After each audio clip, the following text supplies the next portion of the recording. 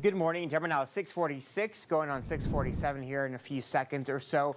We're under an ABC7 first alert, folks. Not for today. It's going to be for tonight because we could see the risk of some heavy rainfall that could lead to some flooding. But for the next 12 hours or so, enjoy it while it lasts. We're expecting pretty much dry conditions for the time being. And we'll start to see that cloud cover begin to break apart. And we'll be tracking mostly sunny skies by the time this afternoon rolls around.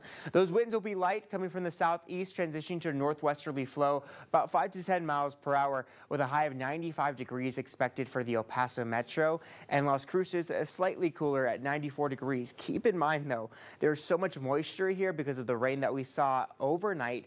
Uh, things are going to be uh, feeling a little muggy feel sticky out there. It's, it is monsoon season, but we are so used to living in a desert year round, or we are do live in a desert year round, but we're used to that drier air. But as for today, it'll be a lot more uh, moist and a lot more uh, sticky. I'm not a big fan of humidity. It always does uh, some weird things to my hair. But hey, at 7 p.m. today, we will start to see uh, those isolated showers and thunderstorms begin to develop across the region.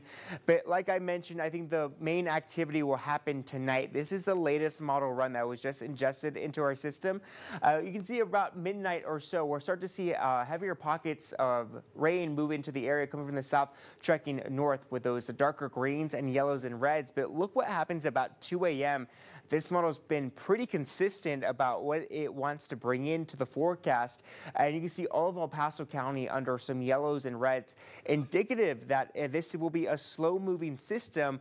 And with it producing heavy rainfall, it could lead to some localized flooding in those areas that are low lying. Uh, those of you who live near canals, specifically out there in the lower valley, Fabens and Tornillo, I'm talking to you. It's time to have an action plan or be weather aware. Of course, we'll be tweaking this forecast during ABC 7 at noon and when Doppler Dave gets in here during the afternoon shows, he'll be tweaking the forecast as well. So be prepared for some heavy rainfall uh, to occur tonight and even into early tomorrow morning. We'll still be tracking rain showers across El Paso. 6 a.m. You can see uh, basically all of the county under some form of rain potentially falling from the sky. So it could be a slick morning commute tomorrow. I'll be here tomorrow morning, though, to help you track that as well.